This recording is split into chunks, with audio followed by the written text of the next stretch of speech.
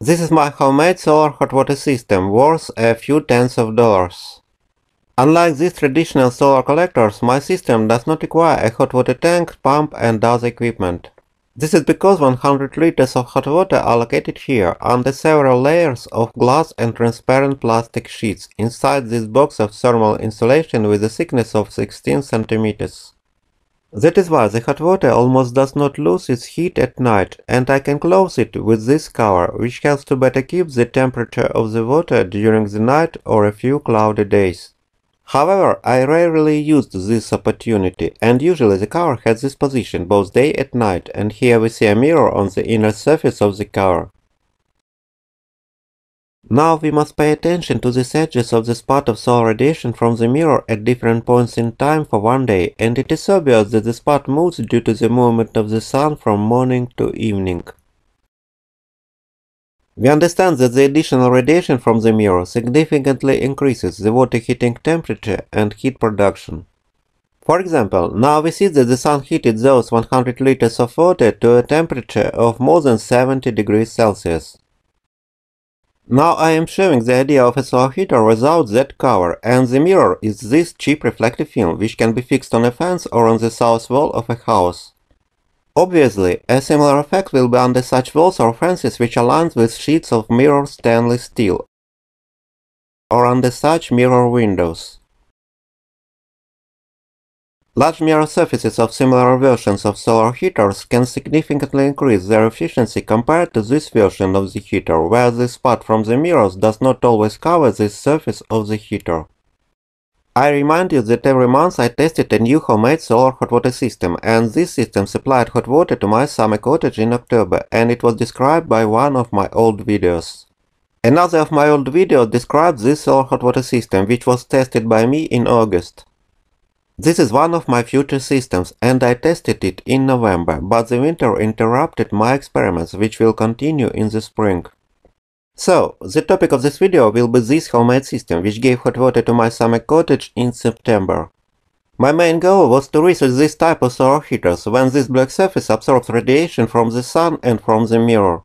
The heat of the black surface is transferred to this large mass of water, which is covered by this transparent surface.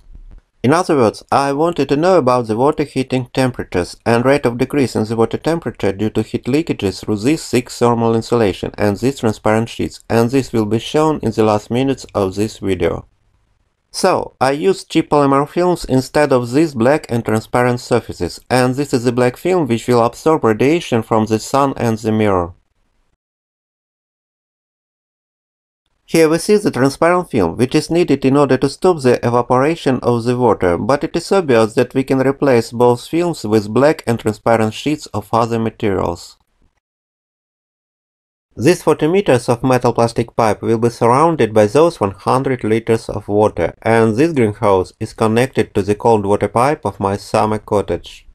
Those 100 liters heat the cold water when it goes through this pipe, and then hot water moves through this hose to this wash basin mixer and to this shower.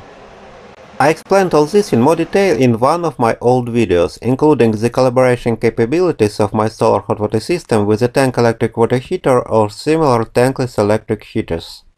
I remind you that every month I test a new hot water system, and therefore my system is connected to the house through these temporary hoses, not permanent reliable pipes. Now I open the hot water tap and we see the water which leaves the pipe through this outlet and let's look at the temperature of the water from the pipe outlet when those 100 liters of water had this temperature. After that, cold water began to move through this green hose from the cold water pipe and now we see how the water leaves the pipe outlet. And this sensor shows the temperature of the water. I remind you that this pipe has a length of 40 meters and an inner diameter of 12 millimeters. We can calculate that the pipe contained 4 liters of water, which were located there for several hours, and therefore those 4 liters got the temperature of the water inside my solar heater. But now those 4 liters of water have already left the pipe outlet, and we see that the temperature of the hot water begins to decrease rapidly. This was the cold water, which came into the pipe through that greenhouse about 2 minutes ago, and it had a temperature of 13 degrees Celsius. But then the cold water is heated when it went through the pipe because it took heat from those 100 liters of water. Now we see that the water temperature has become almost constant, but the temperature still continues to decrease slowly because the heating of that cold water takes heat from those 100 liters of water. This is a situation when my solar heater has already given 15 liters of water with a temperature between 70 and 54 degrees Celsius. If this 15 liters mix with cold water, you get almost 30 liters of water mixture with a temperature of 40 degrees. After this experiment, the temperature of those 100 liters of water decreased to this level, and it is about 6 degrees lower than it was before the experiment. Let's look at the work of my solar heater when it was covered with this cheap sheet of cellular polycarbonate and these two glass sheets. In addition, I will not close this cover and it will have such position day and night. So, now there is morning, and I am showing the temperatures of those 100 liters of water. But then there was such a sunny day, and therefore the sun heated the water to these temperatures. This sensor shows the temperature of the upper layer of the water, and this sensor shows the temperature of the water near the bottom. I remind you that I did not close this cover at night, and this is the temperature of those 100 liters the next morning. Now I will show the evening and morning temperatures for the next days when I did not close the cover and I did not take heat from the solar heater for the shower and other purposes. I remind you that the thickness of the thermal insulation of the bottom and walls is 16 cm and it is obvious that the morning and evening water temperatures will be different if we change the thickness or if we change the number of those sheets of glass and cellular polycarbonate. The height of the water inside the heater is 15 cm, and we understand that a decrease in the height will increase the evening temperature of the water, but slightly reduce its morning temperature.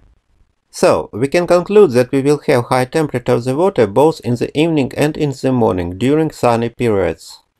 Unfortunately, non-solar periods can reduce the water temperature lower than 30 or 40 degrees Celsius, and therefore I remind you of the possibilities for the solar heater to work together with a tank electric water heater or similar tankless electric heaters. Let's look how this cover will help us during non-sunny periods, and now we see the water temperature in the evening after sunny day. Then I closed the cover and the water temperature decreased to this level during the night. But after that it was cloudy days, and therefore I did not open the cover. This is the temperature the next day, and we can calculate that now the water temperature is 10 degrees lower than it was 26 hours ago.